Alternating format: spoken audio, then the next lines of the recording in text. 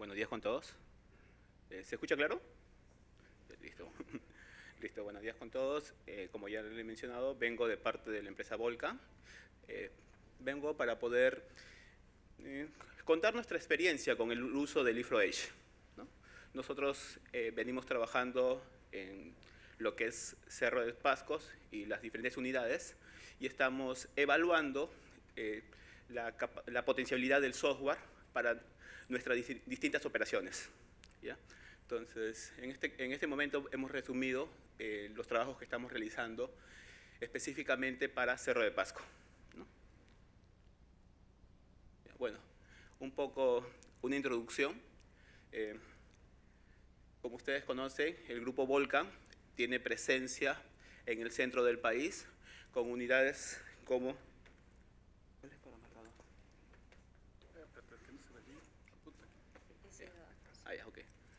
Gracias. Tiene presencia en la parte central con nuestra unidad operativa Yauli, que consta de cuatro minas. En la parte central, lo que es nuestras unidades de Chungar y Chungar Ánimo, y, y específicamente lo que es el, complejo Cerro de Pasco. Eh, en esta ocasión, como les, les acabo de mencionar, vamos a hablar específicamente de lo que es Cerro. Cerro de Pasco es una, un yacimiento bastante complejo, en la actualidad estamos trabajando lo que es la parte de la parte epitermal de los óxidos in situ y hemos evaluado también los recursos polimetálicos del Tajo Raúl Rojas, de la parte subterránea. Aparte, nosotros como interés económico también tenemos una serie de stockpile o acumulación eh, de material que tiene un gran potencial argentífero, que son dominadas las piritas stockpile. Tenemos zonas eh, de acumulaciones eh, que le llamamos la zona de desmonteras. Así, igualmente en las partes de la caliza tenemos cuerpos de reemplazamiento y en las partes de los volcánicos tenemos vetas de cobre eh, con presencia de oro. Así que, entonces, dentro de nuestra, de nuestra preocupación o para poder optimizar nuestro tiempo, gestionar nuestro dato, estamos en la búsqueda de un software que nos permita cubrir las necesidades en función a, lo complejo que tenemos dentro de nuestro yacimiento. ¿no? Entonces ya eh, venimos trabajando eh, durante todo este año eh, con el IFROEDGE, ¿no? Entonces, pero todo este ha sido un, es un, ha sido un proceso que ha sido paulatino, ha sido un proceso que se ha ido integrando con, el, con, los años y en función a las políticas de la empresa, ¿no? La empresa también vio la, vio la necesidad de adaptar las necesidades que, que tenemos como corporación para poder tener una estimación de recursos acorde a las normas, a los protocolos y a las políticas que se exigen cada uno de los códigos, de los códigos internacionales para reportar nuestros recursos. ¿no? Entonces, en Volcan contamos, eh, contamos con un sistema de gestión de datos que combina la información tanto de exploración como la información de exploración. ¿no? Entonces, eh, bueno, como ya se les dijo, eh, lo ideal es tener un control adecuado en el manejamiento de los datos para poder optimizar su análisis, generar los reportes de forma rápida y precisa, al mismo tiempo eh, contar con todas las herramientas de validación y previos a la estimación de recursos. La base de datos es lo más importante que, que nosotros tenemos, nuestro activo más importante para poder declarar nuestros recursos. ¿no? Nosotros... Eh, Actualmente nos encontramos en la implementación del LIFRO Central, del Central Sequence. Bueno, para los que no han escuchado de Sequence, Sequence es una plataforma que integra, que integra eh, los modelos, estimaciones eh, generados bajo sus plataformas para que todos los equipos trabajen bajo los mismos datos y modelos. Entonces ya hemos avanzado tanto la parte de lo que son operaciones y exploraciones y tenemos las pruebas ya terminadas y estamos en el proceso de culminación para tanto el clúster sur como el clúster norte puedan y la, y la gerencia de operaciones trabajar en conjunto con todos los modelos geológicos y estén centralizados en esta plataforma.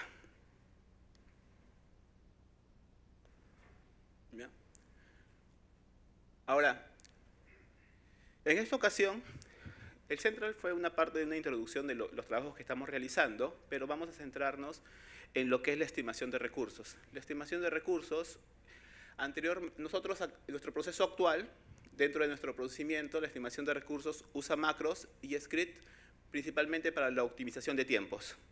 ¿no? Entonces, nuestro objetivo es integrar el modelamiento con la estimación para atender ambos procesos juntos y de manera dinámica. Entonces, se ha probado el IFRO en cada una de las etapas de estimación, eh, tanto en cuerpos, betas, en, las propias, en los propios stockpiles. Se ha, hecho se ha realizado la comparación con el proceso actual para poder ver cuáles son sus ventajas. ¿no? Bueno, adelantando un poco, hemos obtenido una mejor interacción con los datos y el tiempo de proceso en estimación ha sido más rápido.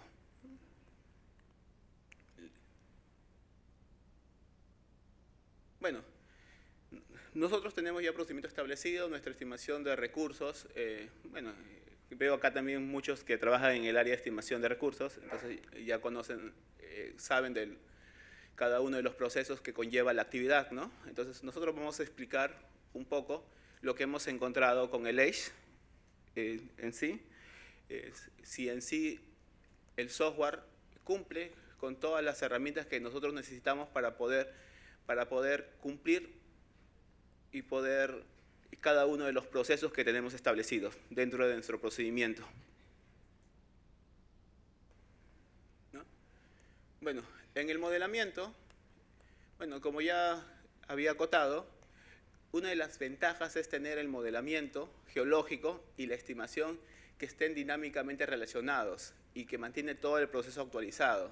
Yo actualizo el sólido, yo actualizo el sólido, mi sólido, mi dominio geológico, y, y dinámicamente se van a actualizar todos mis datos. Mis datos se, se me actualizan, puedo nuevamente hacer los criterios, los criterios de comparación, pero lo voy a realizar en forma más rápida.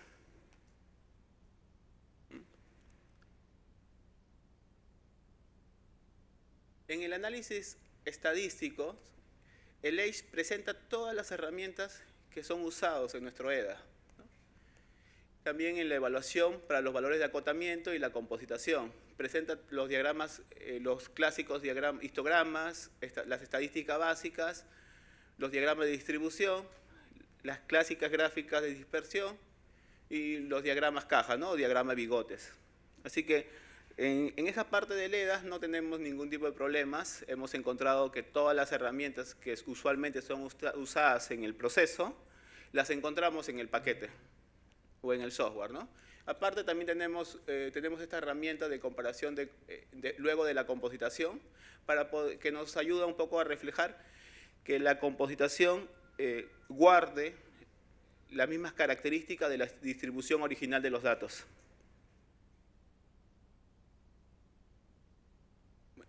En el análisis geoestadístico es algo que lo que más me gusta. ¿Por qué? Porque me permite la interacción de los datos. Entonces, eh, yo puedo eh, tranquilamente identificar aquellos planos, aquellos planos de continuidad, aquellos planos de continuidad y me hace más sencillo poder hacer la determinación del variograma. Entonces, con, otras, con otras herramientas eh, que hemos estado trabajando, a veces el cálculo es un poco, es, se complica un poco más porque no, no hay esta interacción con los datos, es decir, no me permite visualizar los datos directamente y poder ver si realmente estas, estas continuidades son las que se reflejan en el proceso.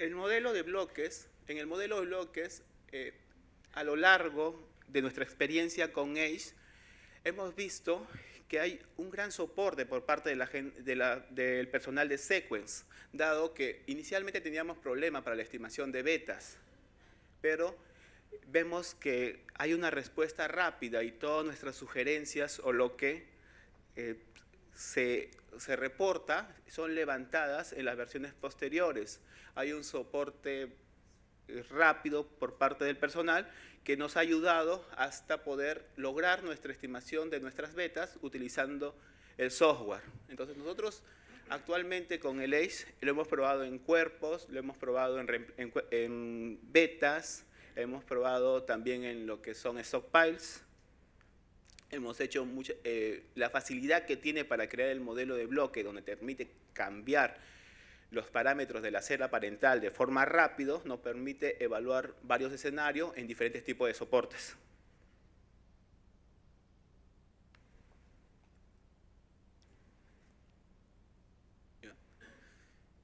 Entonces, en la estimación de recursos, el procedimiento de estimación es bastante intuitivo. El tiempo de implementación es bastante rápido y mantiene una secuencia que es fácilmente auditable.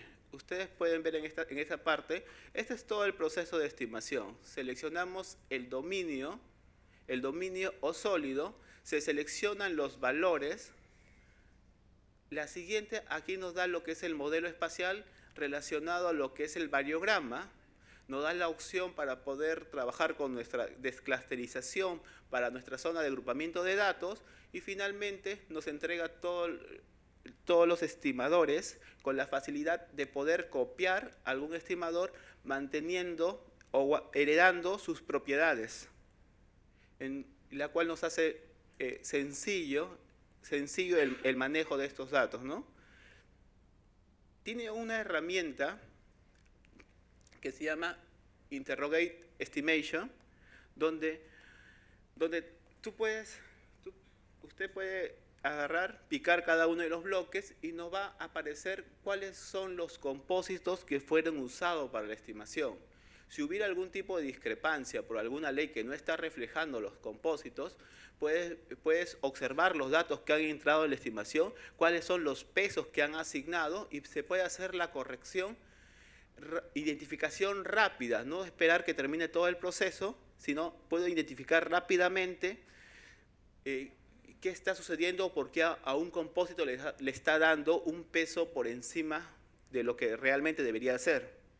Entonces nos, permite poder retroceder y poder ajustar nuestros parámetros y tener un mejor control con respecto a nuestros resultados.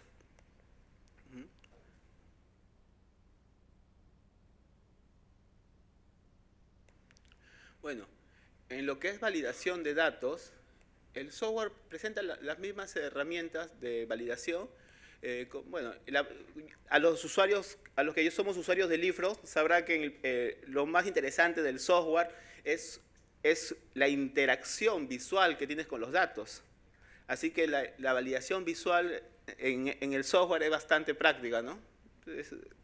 en sí, por el mismo, el mismo uso tanto en el Edge como en LifroGeo, nos permite esta visualización de secciones, eh, planos de nivel,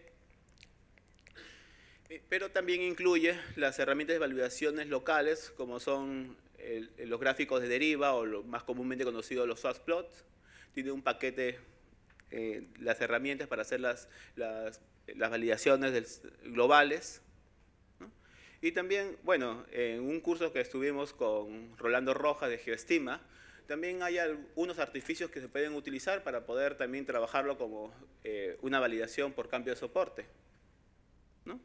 Pero son cosas que ya, el, en sí el software es nuevo porque nosotros lo venimos utilizando desde finales de septiembre cuando a Volcan nos entregaron eh, una, una licencia para poder probar el software y poder ver si se adaptaba a nuestros procedimientos. Y en, en estos dos años que han transcurrido, hemos visto que ha dado un gran salto, eh, cada día se hace mucho más fácil utilizarlo, eh, presentan herramientas nuevas en cada una de las actualizaciones y como ya les había comentado, eh, el soporte y vemos que el personal de Sequence siempre está pendiente a lo que los usuarios puedan transmitir o puedan sugerir y lo adaptan y, y si ellos ven conveniente adaptar eso a su proceso, ellos te lo adaptan. Lo adaptan. Entonces, eh, por, nuestra parte estamos contentos en esa parte porque vemos que, que Sequence eh, quiere, quiere entrar con fuerza al campo de estimación con recursos y te da el apoyo necesario, ¿no? Hay otros paquetes que a veces das unas sugerencias y sigues esperando la respuesta, ¿no? Ese es uno de los problemas que a veces tenemos nosotros, ¿no?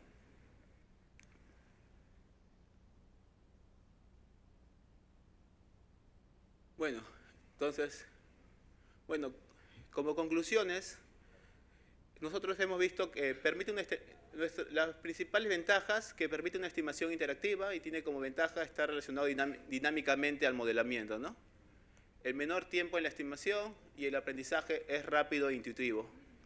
¿no? El procedimiento es auditable y se actualiza con el ingreso de nuevos datos.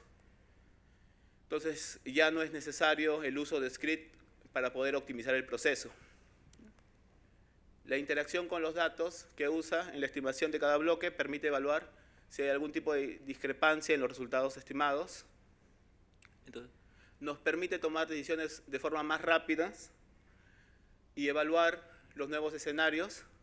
Aparte, eh, tiene, tiene una, una galería de filtros y herramientas de cálculos que te facilitan muy bien el uso, la interacción, extraer los datos, poder, hacer, poder, poder trabajar principalmente con, con, lo que nosotros, los que trabajamos en estimación de recursos, casi siempre trabajamos con filtros, agarramos el modelo de bloque, filtramos, hacemos pruebas, extraemos la información, llevamos, para poder entregar el modelo que mejor represente a nuestro yacimiento, ¿no? a nuestro depósito. Y bueno, permite exportar los datos e importar los datos a otro software. ¿no? Los trabajos actuales, los trabajos actuales que estamos eh, que la cual venimos trabajando en Volca es ya trabajar el modelo de OR Control con LeafRoAge, integrar nuestra base de datos de Blasthole para poder representar nuestros datos de producción y hacer la comparación en sí con el modelo de largo plazo. Estamos, estamos integrando esta información para que nuestro modelo de OR Control herede los datos de largo plazo y podamos actualizar en función a los black hole en forma periódica, ¿no? en función de cómo se va cargando la base de datos. El software, bueno, hasta lo que le hemos evaluado, presenta todas las características, no hemos tenido ningún tipo de dificultades para poder implementarlo y venir siguiendo trabajando, pero la base de toda estimación o trabajo que se realiza está en función a la base de datos. Si tu base de datos eh, no se adapta, el software no te lo va a solucionar. Entonces, por eso se presentó en la parte inicial el sistema de gestión de datos que tenemos en Volca. Ese eh, se tuvo o se observó como una gran necesidad para poder implementar todos estos paquetes informáticos y poder agilizar los tiempos en respuestas. Actualmente, los tiempos se han reducido. Años atrás, quizás estimar un modelo tomaba mucho más tiempo. Ahora eh, realizan una campaña de perforación corta, con unos 50, 60 taladros, y quieren una actualización del modelo. Los tiempos de respuesta nos exigen que, sea, que seamos más rápidos para poder entregar y qué mejor el uso de herramientas que nos permita. El uso de herramientas no va a reemplazar nuestro criterio como geólogos o criterios como estimador de recursos, pero nos da la facilidad para poder responder a esa exigencia en lo que es el tiempo. Bueno, gracias.